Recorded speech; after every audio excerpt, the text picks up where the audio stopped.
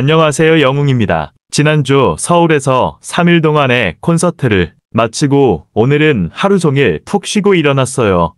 여러분들도 잘 쉬셨는지 궁금하네요.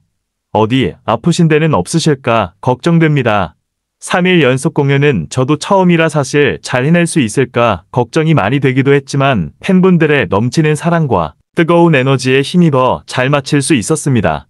일요일 마지막 공연에서는 여러분들의 사랑을 온전히 느끼고 싶어서 이니어를 뺐는데 한마음으로 불러주시는 그 노랫소리에 울컥하고 말았습니다. 그동안 여러분과 제가 함께 지나온 시간들이 제 머릿속을 스쳐 지나가더라고요.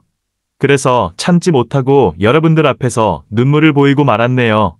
현장에서 저 때문에 함께 울어주신 분들이 많았는데 우리 모두 슬픔의 눈물이 아니었고 벅참과 행복의 눈물이었으니까 또 하나의 좋은 추억으로 간직했으면 합니다.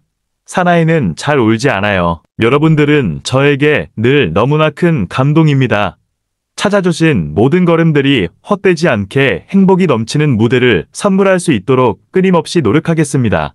그리고 저 궁금한 게 있어요. 이번 콘서트 중 어떤 무대들이 가장 기억에 남고 어떤 노래가 가장 좋으셨을까요? 지금은 이 글을 쓰면서 금, 토, 예, 여러분들과 올림픽홀에서 찍은 단체 사진을 보고 있는데 다시 한번 그 열기가 떠올라 또 뭉클해지네요. 여러분, 저 또 궁금한 게 있는데요. 이 사진 보시면 어떤 요일 사진인지 아실 수 있을까요? 궁금해져서 여러분들께 깜짝 퀴즈 한번 내보고 싶습니다. 올려드린 서울권의 단체샷 5장이 각각 언제였는지 과연 맞추시는 분이 계실까 궁금합니다. 맞추시는 분들께는 제가 특별한 선물이라도 해드릴지 모르잖아요. 창원에서도 더 새롭고 멋진 모습 보여드릴 수 있도록 잘 준비해서 내려가겠습니다.